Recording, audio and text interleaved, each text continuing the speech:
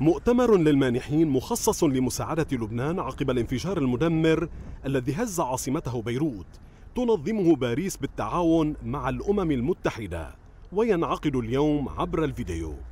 المؤتمر الذي ستشارك الأمم المتحدة في رعايته يسعى للحصول على تعهدات من مشاركين من بينهم الرئيس الأمريكي دونالد ترامب. ومن المتوقع أن يقرر كيفية توزيع المساعدات بحيث يستفيد منها الشعب مباشرة. يأتي المؤتمر عقب موجة غضب عارمة في الشارع اللبناني ومواجهات عنيفة بين قوات الأمن ومتظاهرين. نددوا بحزب الله وإيران مطالبين برحيل السلطة.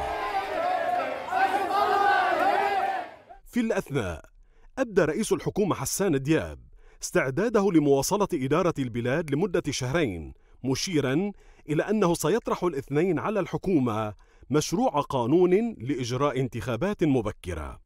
أنا بدعي كل الأطراف السياسية للاتفاق على المرحلة المقبلة. ما معهم وقت كتير. أنا مستعد لتحمل هيدي المسؤولية لمدة شهرين حتى يتفقوا. مطلوب عدم الوقوف ضد إنجاز إصلاحات بنيوية حتى ننقذ البلد.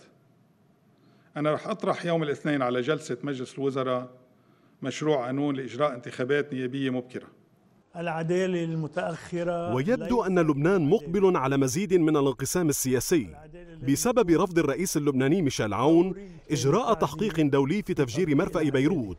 فيما شكك حزب الله بالتحقيق الدولي مرجحا إمكانية اختراقه من إسرائيل. موقف ردت عليه قوى سياسية وحزبية لبنانية. منها تيار المستقبل والقوات اللبنانية والحزب الاشتراكي والكتائب اللبنانية مطالبة بتحقيق دولي باعتباره مطلبا شعبيا.